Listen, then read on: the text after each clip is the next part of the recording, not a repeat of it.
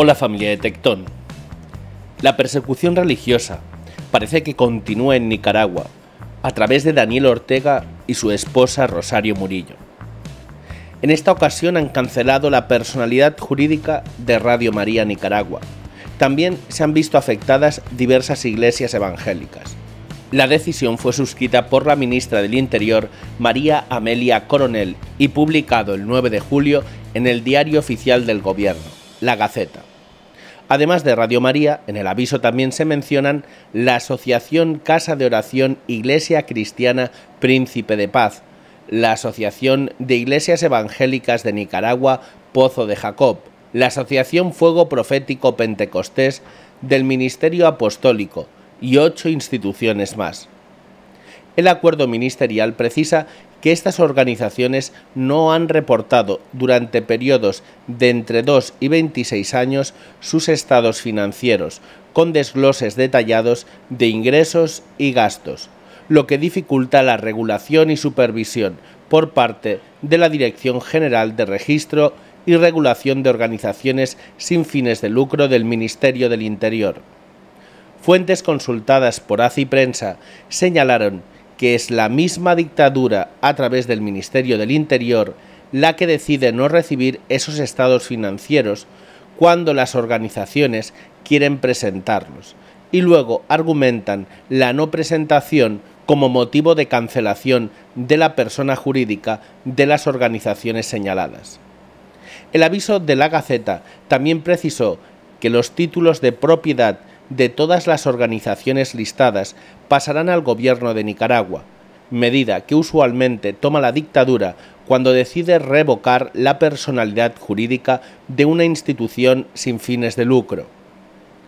El 11 de abril, Radio María Nicaragua había informado previamente que sus cuentas bancarias en el Banco de la Producción, donde se reciben donaciones en dólares y córdobas, la moneda nacional, fueron congeladas. En una publicación de X, el ex embajador de Nicaragua ante la Organización de Estados Americanos denunció el último ataque del régimen contra la Iglesia. A Radio María le congelaron las cuentas, le alteraron la programación, le hicieron seguimiento, le acosaron y finalmente hoy le cancelaron su persona jurídica. La dictadura satánica de Nicaragua odia a muerte a la Iglesia.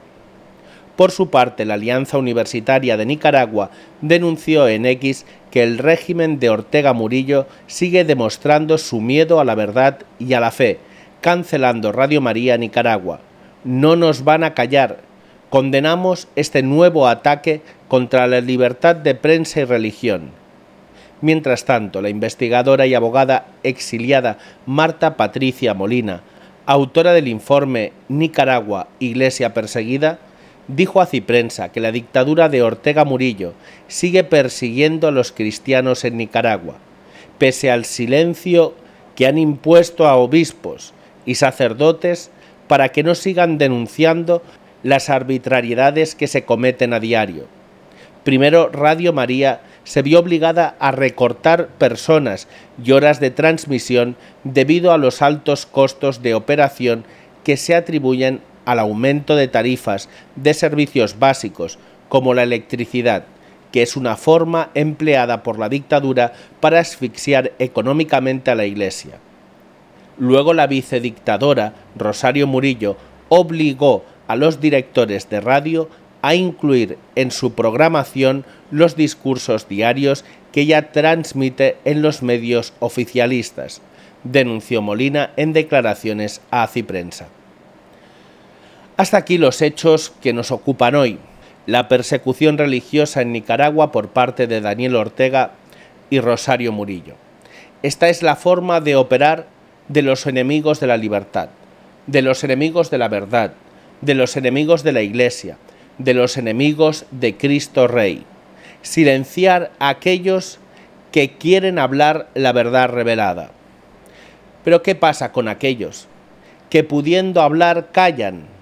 Me refiero a fieles, sacerdotes y obispos, que no están en una dictadura como la nicaragüense y que pueden hablar, pero por el contrario, prefieren callar.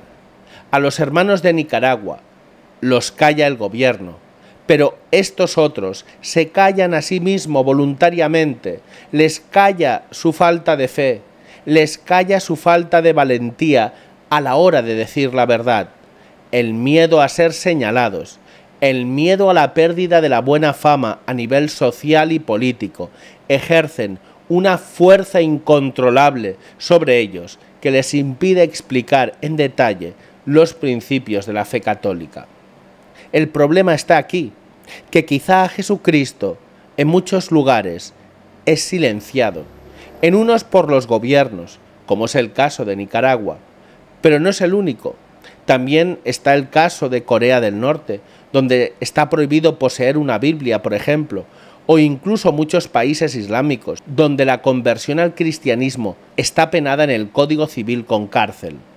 A Jesucristo se le silencia en muchos lugares.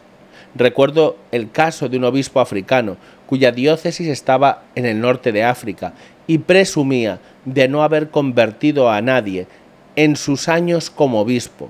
No solo callan, sino que presumen de ser unos adelantados a su época por no compartir su fe. Entre todos estos que callan por miedo, subyace una herejía muy preocupante y que va acechando cada vez más almas. Es la idea de pensar que todo el mundo se salva, simplemente viviendo de acuerdo con sus principios personales, o que todo el mundo se salva esté en la religión que esté, negando de esta forma el dogma que enseña que fuera de la Iglesia Católica no hay salvación, y negando también la esencia misma de Dios, que es sumamente justo y que premia a los buenos y castiga a los malos, como enseñaba antiguamente el catecismo. Catecismo que por desgracia ya no se estudia, porque lo consideran anticuado, de tal manera que hoy día los fieles católicos vivimos en una total ignorancia de nuestra fe, sin tener conocimientos básicos de cosas que antes un niño con 10 años, incluso menos, ya sabía. Entre los que callan por voluntad propia y los que callan por imposición de gobiernos, muchos cristianos sienten una gran hambre y sed de la palabra de Dios, hambre y sed que debemos ayudar a calmar por todos los medios a nuestro alcance, hambre y sed de Dios, de su palabra, de su verdad, hambre y sed de pastores buenos, santos, sabios, valientes, hambre y sed que sólo la infinita bondad de Dios es capaz de saciar, y que muchos buscan saciar con principios meramente materialistas y humanistas, o predicando una falsa espiritualidad sin ningún fundamento de verdad, sin ningún fundamento bíblico o en la tradición de la Iglesia católica. Recemos por los hermanos perseguidos en Nicaragua y en el mundo entero, pero no nos olvidemos de rezar también por aquellos pastores, sacerdotes, diáconos, obispos, incluso fieles, para que el Señor Dios aumente su fe y su valentía y dejen de callar la verdad salvadora que nos trae Jesucristo a través de su Iglesia, la católica. La situación en la Iglesia católica preocupa a muchos fieles. Recientemente estuvimos con el obispo Athanasius Schneider y nos dio una charla sobre la importancia de la formación católica para evitar la apostasía individual de cada uno. Este domingo 14 de julio podrán escuchar al obispo Athanasius Schneider hablar de este tema. En las pantallas finales y en la descripción de este vídeo les dejo el enlace a la charla del obispo. Muchas gracias y que Dios les bendiga a todos.